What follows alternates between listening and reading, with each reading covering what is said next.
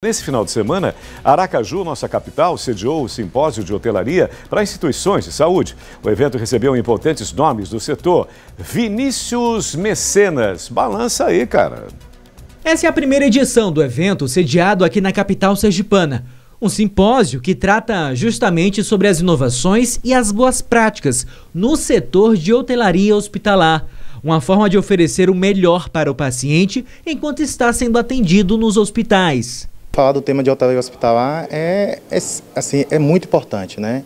Traz no contexto da experiência do paciente, né? Da recepção, né? Da higienização, da rouparia, né? Todo o viés, né? Que é importante na estadia do paciente. Aqui em Sergipe ainda não existe uma sociedade sergipana de hotelaria hospitalar.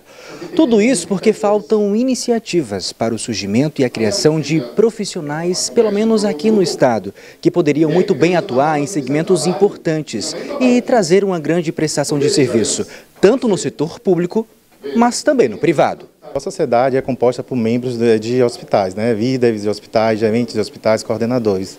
Então, para isso, a gente precisa né, que tenha iniciativa né, por parte da liderança né, dos hospitais que representa né, aqui esse estado, Sergipe. Né? Então, é, creio que se tivesse essa iniciativa assim, é possível sim, a gente está também montando é, uma sociedade aqui no local. A primeira palestra foi do presidente da Sociedade Latino-Americana de Hotelaria Hospitalar, Marcelo Boeger, que trouxe abordagens específicas sobre o segmento no país e no mundo.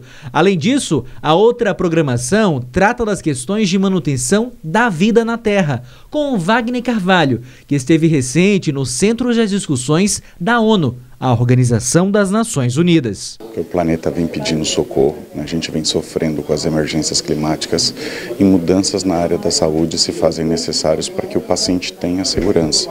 Né? A gente viu na tragédia do Rio Grande do Sul, nas enchentes, muitos hospitais ficaram sem energia elétrica porque o gerador estava no subsolo e a água o fez parar de funcionar.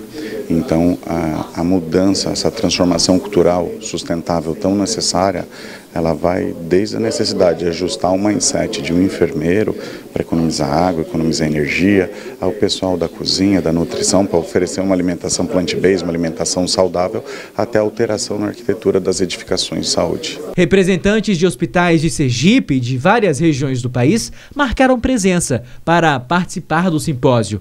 O momento para trocar experiências para ofertar serviços com melhor qualidade. O paciente, enquanto dentro de uma estrutura hospitalar, a gente precisa tornar essa experiência o mais agradável possível, tendo em vista que ele não está ali porque ele escolheu, ele está ali para cuidar da saúde. Então, nós, profissionais da saúde, precisamos nos aprimorar cada vez mais para tornar a estadia desse paciente no hospital com o melhor desfecho possível e a melhor experiência, para que ele se sinta acolhido, seguro, bem tratado e curado. A gente sempre costuma dizer que cuidar de um hospital não é como cuidar de um shopping, de uma escola, de um shopping.